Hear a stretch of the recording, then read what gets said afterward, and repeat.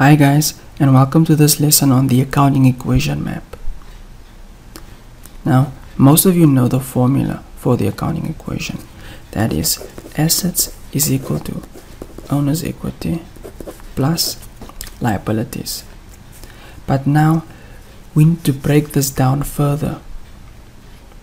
We need to know when an asset increases or when an asset decreases what will happen to it? On which side will we put it? On the debit side or on the credit side? Well when an asset increases we will put that on the debit side. And when it decreases we will put it on the credit side. And when a liability increases we will post it to the credit side. And then when a liability decreases we'll post it to the debit side. Now can you see here the assets and the liabilities act as exact opposites.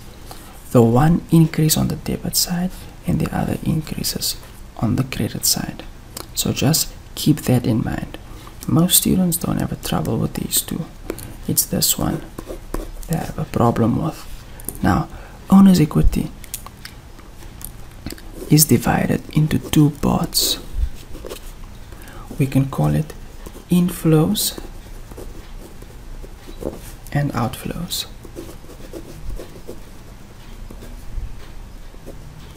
Now, your inflows make up capital and income, and your outflows make up drawings and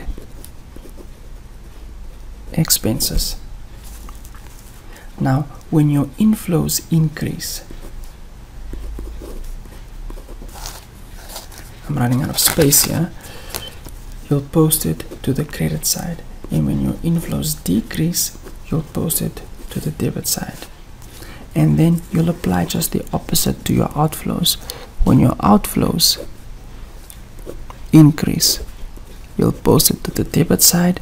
And when your outflows decrease, you'll post it to the credit side. Well, you can say, well, everyone knows that.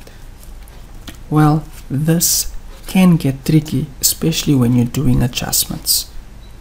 So, please study the accounting equation map, especially when doing adjustments, because if you can identify what item you're working with and where it should come, how it should increase and where it should come when it should decrease, then this will help you a great deal. For more on the accounting equation map, you can download it on my website. The link will be down below. Again, thank you guys for watching, and I'll see you guys next time.